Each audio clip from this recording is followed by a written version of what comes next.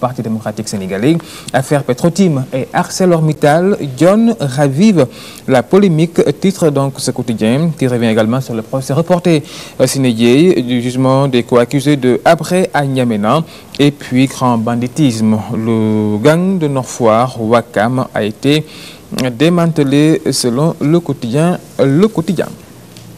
À la une de la tribune, affaire Mittal et Petrotim, Mohamed Boun Abdallah qui s'invite à la polémique. Le PM défend Aliou Sall et menace Ousmane Faye, membre du FDPR. Les informations qu'il a fournies sont tout simplement mensongères. Autre information, la une de ce journal, communication présidentielle, Mamadou Thiam remplace Yahambaye, Chertian Touré. J'ai des dossiers contre Suleiman Ndene Ndiaye. Et là, nous parlons encore de déballage.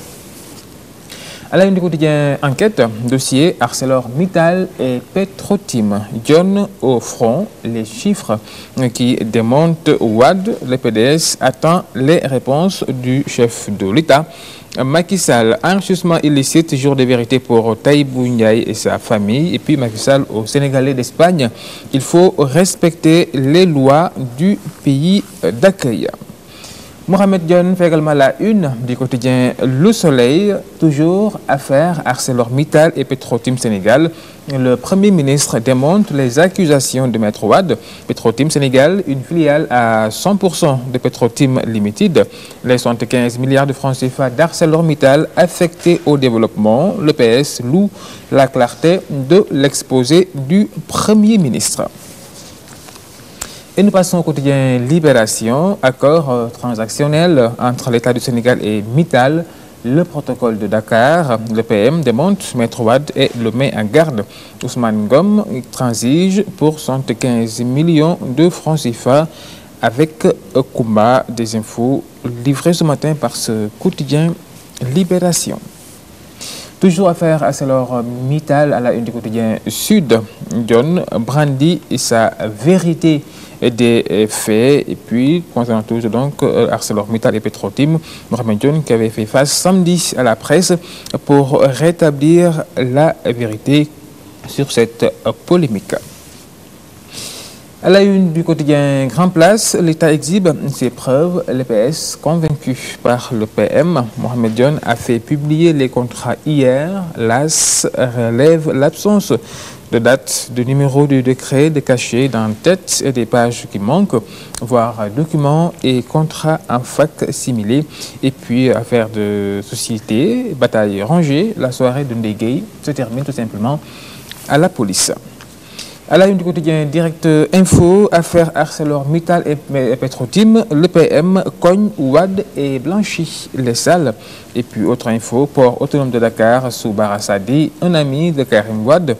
Au cœur d'un scandale, cher Kanté, je ferai des révélations qui risquent de gêner les députés et dignitaires de l'ancien régime.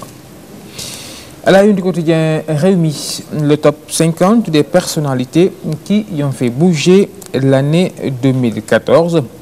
50 personnes donc à la une de ce quotidien des personnalités qui ont fait bouger l'année 2014.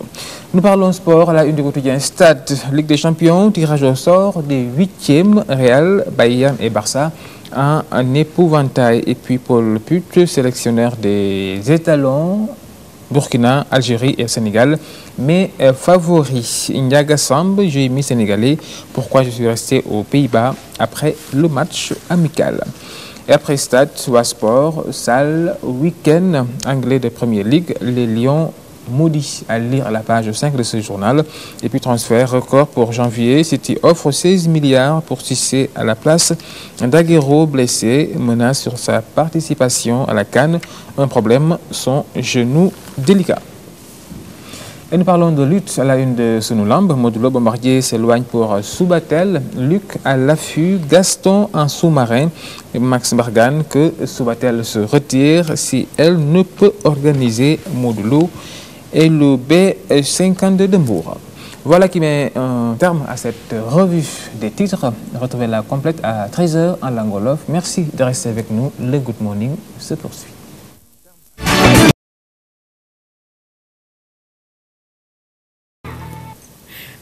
Merci beaucoup, Samba.